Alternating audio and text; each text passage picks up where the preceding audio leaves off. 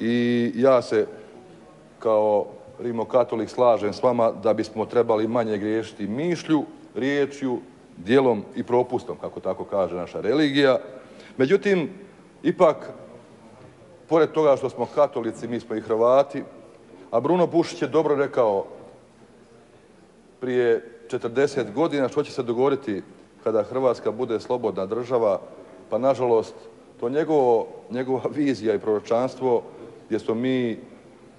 nekako, a vi biste se složili sa mnom, pokazali mnogo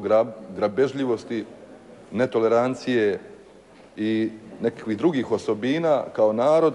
i gdje su, da kaže kako je on rekao da će, kako će tek Hrvati guliti svoje ljude, Hrvate, to će se tek pokazati kada Hrvatska bude imala svoju vlastitu državu. Dakle, između ove zaista religiozne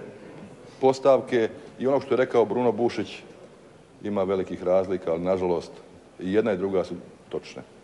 Hvala lijepo.